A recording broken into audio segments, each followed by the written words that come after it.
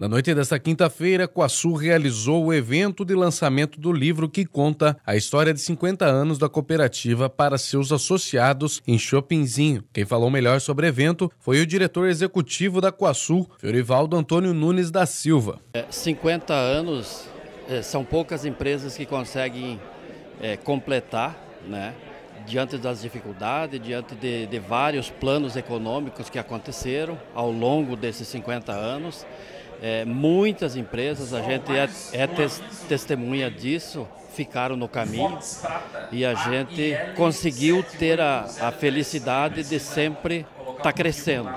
Iniciou lá em 69, com poucos produtores, 43 para ser mais preciso, pessoas com extremas necessidades na época, tiveram essa brilhante ideia de iniciar lá diante de todas as dificuldades e, e foi crescendo e até hoje ela continua crescendo.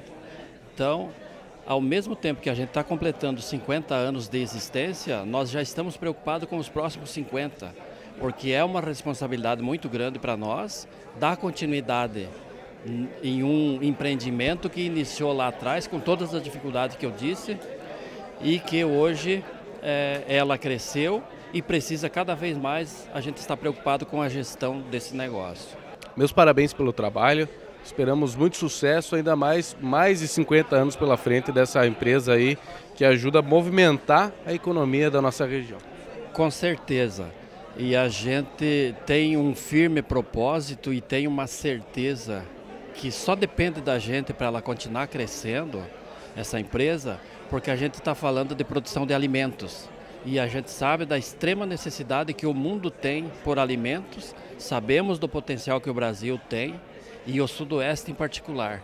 Então, nós temos uma missão muito grande, inclusive informar novas lideranças para que deem continuidade, para que esse empreendimento só cresça e que seja o orgulho do Sudoeste do Paraná. Essa é a nossa principal missão. Meus parabéns e sucesso no trabalho.